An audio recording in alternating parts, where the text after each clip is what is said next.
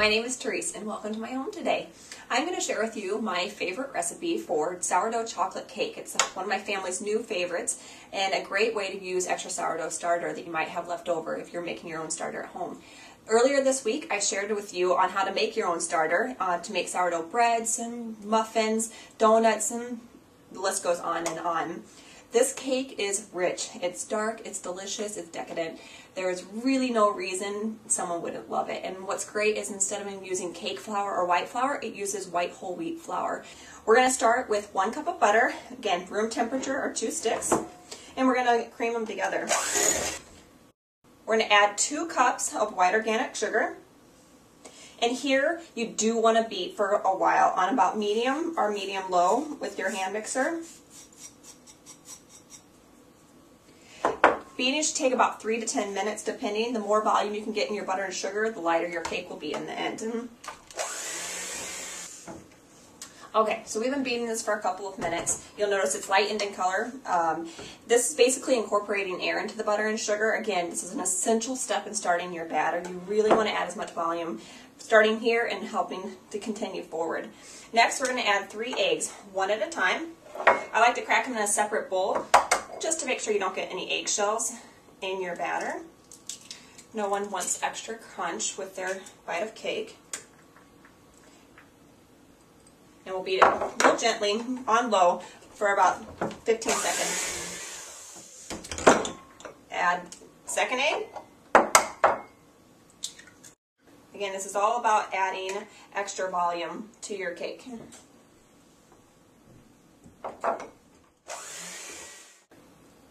This is our final egg. Now we're going to add a cup and a half of your active sourdough starter.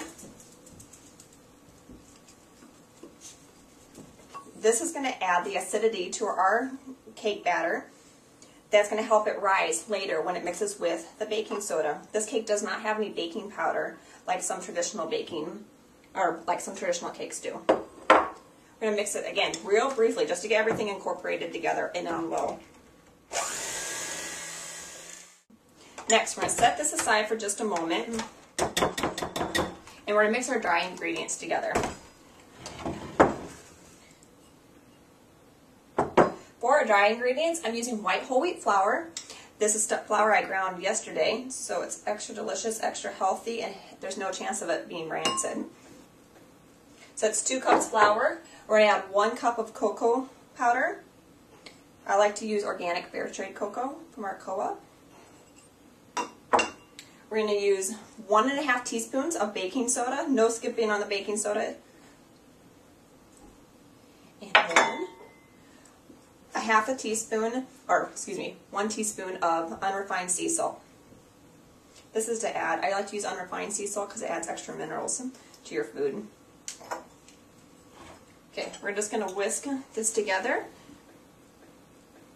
So we're going to mix our dry ingredients now with our wet ingredients. Our wet ingredients are one cup of whole milk, preferably. I like whole milk. And I'm to mix in with my whole milk right now, one teaspoon of vanilla. We're to start with our dry ingredients, then go to our wet ingredients. We're to do a third dry, a half of the wet, third dry, half wet, third dry. We start with our dry and end with a dry because it's going to help add volume. We're not going to want to overbeat it. This is, again, an essential part for getting a light cake. You don't have to be over precise with this, just estimate a third. Half of our milk. And then mix it again. Okay, we're going to scrape down the sides, and again, just make sure everything's incorporated in. And now we've got a really delicious, really thick, wonderful batter. So we're going to use 9-inch round cake pans that we've greased, lined with parchment paper, and then dusted with cocoa. This is just going to help your cake come out a lot easier. And just divide the batter in half. We're going to bake these cakes in a preheated 350 degree oven for about 30 minutes. You might have to go a little bit longer if you're using an, an 8 inch pan. All you're going to need to do is test it with a toothpick. Stick a toothpick in the middle. If it comes out clean, your cake is done. Okay, spread out your butter batter just to make sure it's nice and even in your pan.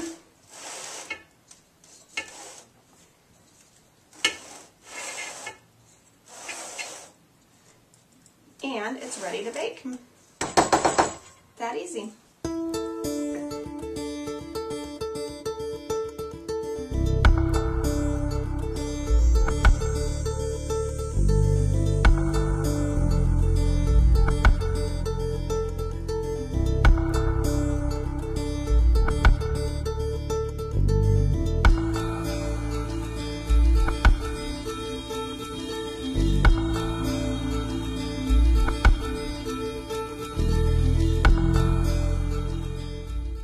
We have our double decker chocolate cake with delicious chocolate icing and almonds on top. Absolutely wonderful, and you will love every bite. And try to share if you can. it's light, you can see it's light in texture, it's fluffy, wonderful. Enjoyed with a glass of whole milk. Straight from the farmer. Let's see how this baby tastes today. Mmm, my favorite easily, easily my favorite. Thank you for joining me today. I hope that you will take the time to make this cake um, and enjoy it as much as my family has.